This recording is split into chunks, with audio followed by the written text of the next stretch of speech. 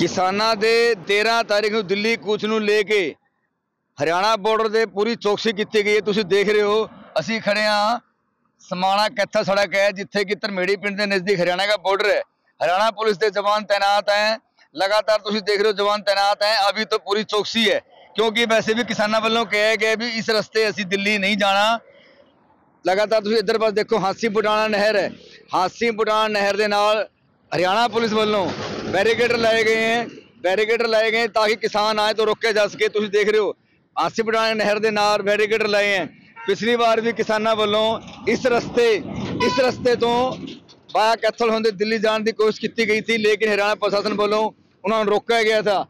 ਇਸ ਵਾਰ ਵੀ ਕਿਸਾਨਾਂ ਦੇ ਇਸ ਦਿੱਲੀ ਜਾਣ ਵਾਲੇ ਮਾਮਲੇ ਨੂੰ ਲੈ ਕੇ ਹਰਿਆਣਾ ਪ੍ਰਸ਼ਾਸਨ ਪੂਰੀ ਤਰ੍ਹਾਂ ਚੌਕਸ ਹੈ ਇਸ ਸੜਕ ਦੇ ਖਾਸ ਤੌਰ ਤੇ ਸਮਾਣਾ ਕੈਥਲ ਜਿਹੜੀ ਸੜਕ ਹੈ ਧਰਮੇੜੀ ਧਰਮੇੜੀ ਟਟਿਆਣਾ ਦੇ ਬਾਰਡਰ ਦੇ ਜਿਹੜਾ ਹਾਸੀ ਬੁਢਾਣ ਨਹਿਰ ਤੇ ਹਰਿਆਣਾ ਪੁਲਿਸ ਨੇ ਪੂਰੀ ਚੌਕਸੀ ਕੀਤੀ ਹੈ।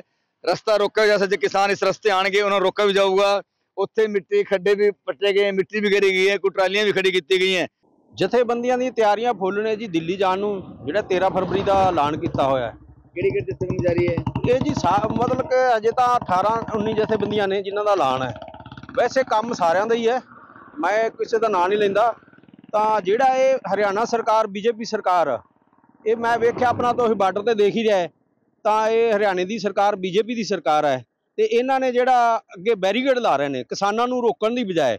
ਉਹਦੇ ਰੋਕਣ ਤੋਂ ਬਜਾਏ ਪਹਿਲਾਂ ਇਹ ਐਲਾਨ ਹੀ ਕਿਉਂ ਨਹੀਂ ਕਰਦੇ ਨੇ? ਜਿਹੜੀਆਂ ਮੰਗੀਆਂ ਮੰਨਾਂ ਨੇ, ਮ- ਮੰਗਾਂ ਨੇ, ਉਹ ਲਾਗੂ ਕਿਉਂ ਨਹੀਂ ਕਰਦੇ? ਮੈਂ ਬੀਜੇਪੀ ਨੂੰ ਪੁੱਛਣਾ ਚਾਹੁੰਦਾ, ਮੈਂ ਬਾਕੀ ਹੋਰ ਜਿਵੇਂ ਕੋਈ ਧੜਾਧੜ ਪੰਜਾਬ ਚੋਂ, ਹਰਿਆਣੇ ਚੋਂ ਬੀਜੇਪੀ ਨਾਲ ਰਲਦੇ ਨੇ, ਉਹਨਾਂ ਨੂੰ ਮੈਂ ਕਹਿਣਾ ਚਾਹੁੰਦਾ ਵੀ ਵੇਖ ਲਓ ਆ ਹਰਿਆਣਾ ਸ ਬੀਜੇਪੀ ਸਰਕਾਰ ਦੇ ਹਾਲਾਤ ਨੇ ਮੈਂ ਕਿਸੇ ਸਰਕਾਰ ਨੂੰ ਮਾੜੇ ਨਹੀਂ ਕਹਿੰਦਾ ਪਰ ਉਹਨਾਂ ਦੇ ਹਾਲਾਤ ਵੇਖ ਲਓ ਵੀ ਕਿਸਾਨਾਂ ਨਾਲ ਆਪਣੀਆਂ ਮੰਗਾਂ ਜਿਹੜੀਆਂ ਜਾਇਜ਼ ਇਹਨਾਂ ਮੰਨੀਆਂ ਹੋਈਆਂ ਨੇ ਉਹਦੇ ਹੱਕ ਵਿੱਚ ਦਿੱਲੀ ਜਾ ਰਹੇ ਨੇ ਤੇ ਇਹਨਾਂ ਨੇ ਅੱਗੇ ਬੈਰੀਕੇਡ ਇਸ ਤਰ੍ਹਾਂ ਕਰਤੀਆਂ ਜਿਵੇਂ ਕਿ ਪਾਕਿਸਤਾਨ ਦਾ ਤੇ ਹਿੰਦੁਸਤਾਨ ਦਾ ਬਾਰਡਰ ਹੁੰਦਾ।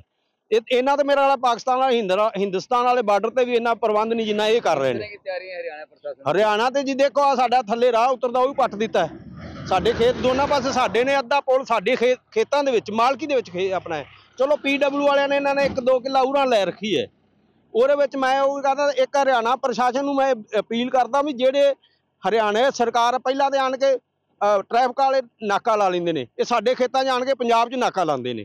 ਫਿਰ ਉਹ ਇਹ ਜਾਂਦੇ ਕੋਈ ਨਹੀਂ, ਲੋਕਾਂ ਨੂੰ ਇੰਨਾ ਪਰੇਸ਼ਾਨ ਕਰਦੇ ਨੇ ਇੰਨੇ ਇਹ ਜਾਂਦੇ ਨਹੀਂ ਦੂਜੇ ਆ ਜਾਂਦੇ ਨੇ। ਕਿਸਾਨ ਜਾਣਗੇ ਹਰ ਹਾਂ ਹਾਲ ਹਾਲਤ ਜਾਣਗੇ ਜੀ ਕਿਸਾਨ। ਦਿੱਲੀ ਜਾਣਗੇ। ਸਾਡੇ ਜਥੇਬੰਦੀਆਂ ਕ੍ਰਾਂਤੀਕਾਰੀ ਸਾਰੀਆਂ ਜਾ ਰਹੀਆਂ ਨੇ ਮਤਲਬ ਸਾਰੀਆਂ ਜਥੇਬੰਦੀਆਂ 13 18 ਕਿਹੜੇ ਕਿਹੜੇ ਜਥੇਬੰਦੀ ਨਹੀਂ ਜਾਤ ਰਹਾ? ਜਾਰੀ ਨਹੀਂ ਅਜੇ ਤਾਂ ਮਤਲਬ ਇਹ ਹੀ ਹੈ ਅਜੇ ਤਾਂ ਕੰਬੋਰੂਸਰ ਜਿਹਾ ਪਿਆ ਹੋਇਆ ਮੇਰਾ ਖਿਆਲ ਤਾਂ ਸਾਰੀਆਂ ਜਾਣਗੀਆਂ। ਮੈਂ ਨਹੀਂ ਕਦੇ ਕਿਸੇ ਦਾ ਨਾਂ ਨਹੀਂ ਲੈ